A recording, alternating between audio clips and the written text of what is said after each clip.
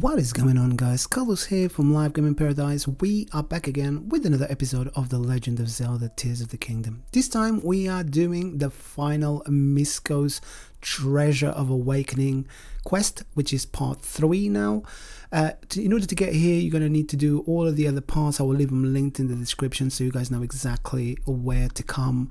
But when you've done all of the first two parts, it's time for us to go and do the third one. So return to this video and then we can start doing the third and final part and get the, the, the complete uh, suit. So if this is the first time you're here, thank you very much for watching. Please comment, like, subscribe, all that good stuff.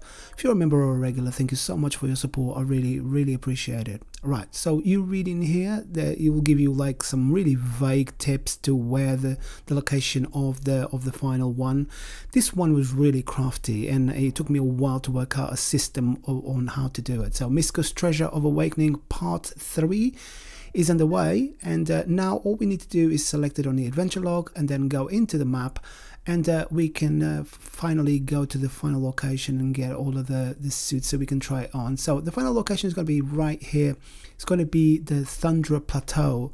Uh, we've been here before in Breath of the Wild. If you've done Breath of the Wild, uh, it's a very, very uh, well-known location. So Lindor's Brow Skyview Tower is where we're going to go and uh, go into, and then we can just glide down over to the Thundra Plateau uh, and uh, and start doing this quest.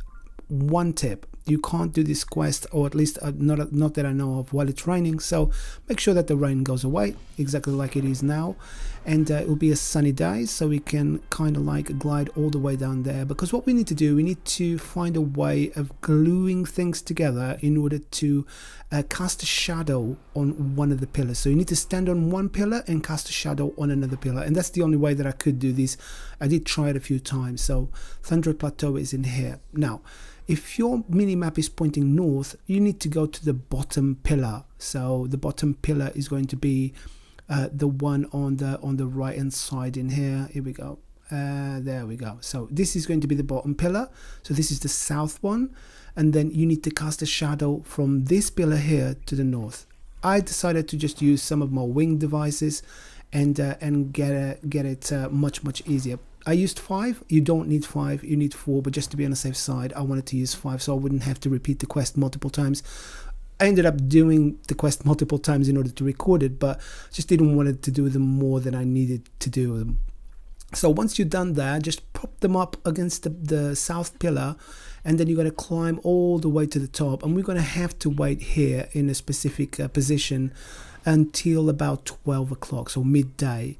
So you need to hold it like these your wing devices and obviously now it's 850 but I sped up this part so you guys can see the shadow moving and when it gets to about uh, 11.55 you'll see that it's touching the north one. So at 12 o'clock it will trigger the quest and it will open the bottom um, onto the pit. And then we can go and pick up the third and final piece of, uh, of our armor.